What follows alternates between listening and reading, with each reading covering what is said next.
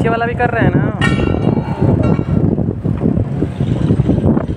इसमें डीजल मिलाए हैं।